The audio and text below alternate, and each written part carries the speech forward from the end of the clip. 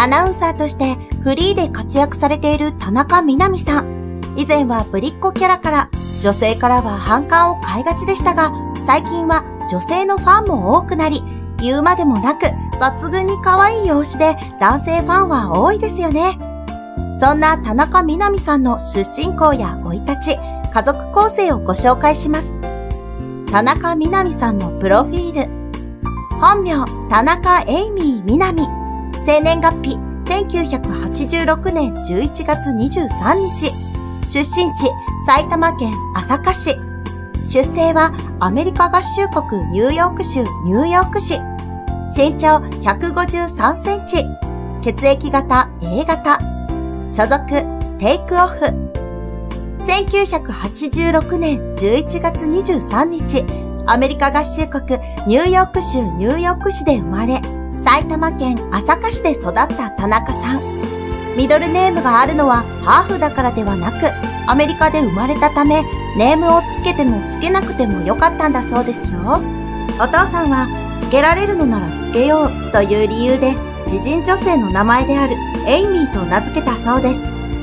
実家の家族構成は、お父さん、お母さん、お姉さん、田中さん、弟さんの5人家族。お父さんのご職業は銀行の役員だと言われています。お父さんの仕事の都合で子供の頃から海外を転々としていた田中さん。ですので、お父さんはメガバンクにお勤めなのでしょう。噂では三菱 UFJ 銀行か、みずほ銀行なのでは？と言われていました。また、お姉さんも成績優秀で、なんと東京大学を卒業し、楽天に勤め、工房の開発にも携わった方だとか。田中みな実さんの出身校。田中さんの出身小学校は公開されていませんでした。小学1年生の頃からお父さんの仕事の都合でサンフランシスコやロンドンを転々としていたことから海外の学校を卒業された可能性があります。しかし、中学受験をするために6年生の時に日本に帰国しています。したがって最後は日本の小学校を卒業している可能性もあります。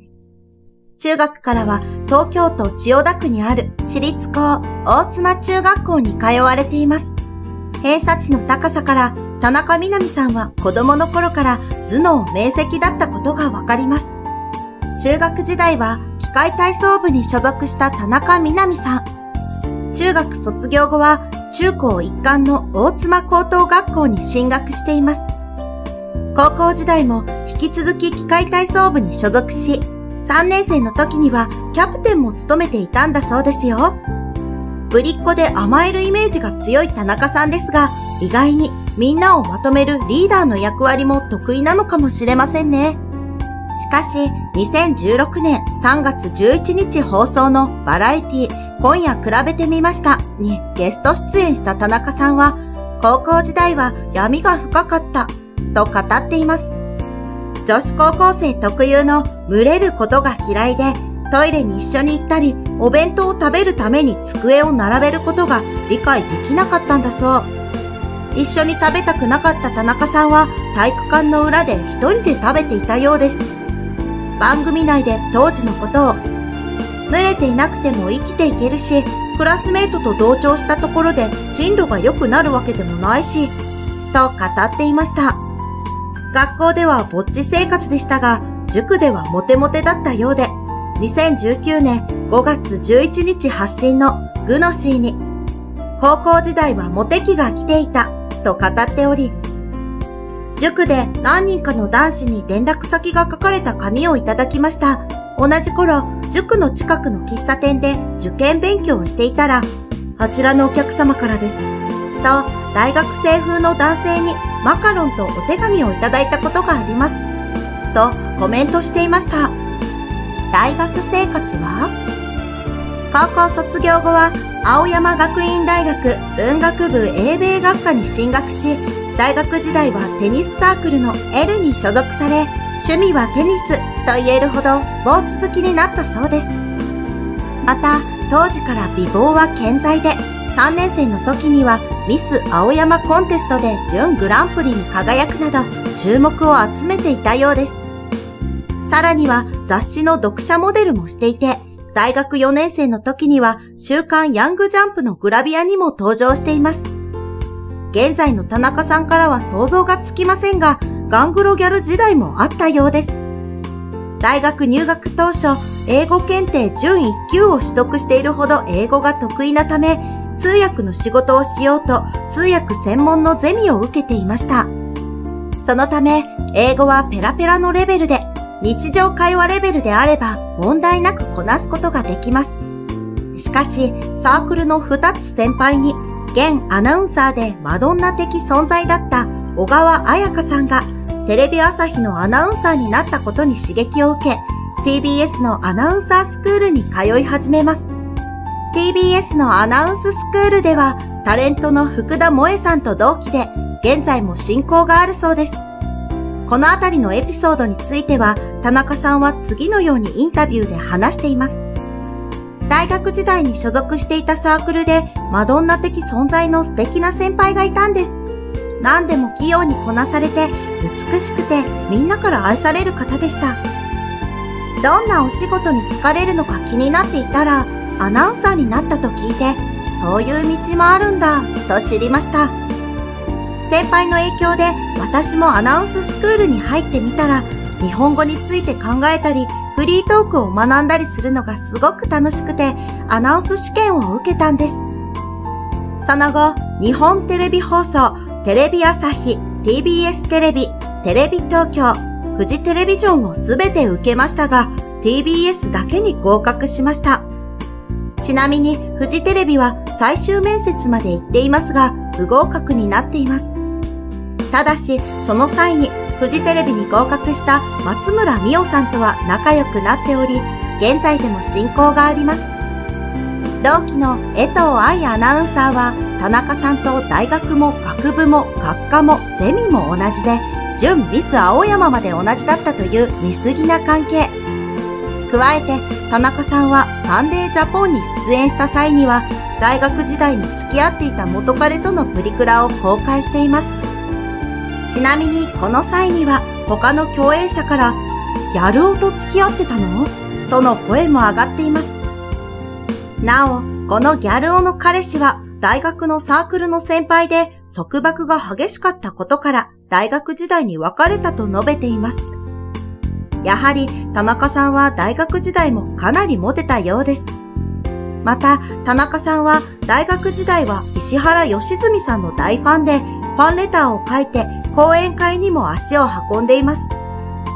ちなみに2019年3月11日放送の昼キュンに田中さんが出演した時、卒業式は化粧が崩れるから絶対に泣かなかったと語っており、普段は見せない努力家の部分が垣間見えました。アナウンサーになってからは TBS 入社後はその明るいキャラクターで人気も上昇し、人気女子アナランキングの常連でした。また、オリエンタルラジオの藤森慎吾さんとの交際が話題になるなど、何かと注目される人物でした。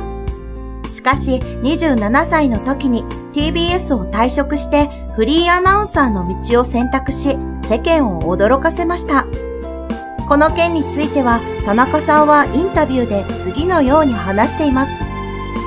会社の中にいると制約も多く、限られたお仕事しかできないけど、外に出てやれることってたくさんありそうだなと思ったんです。30代になってからだと落ち着いちゃって決心がつかなくなりそうだったので、20代のうちにフリーになろうと。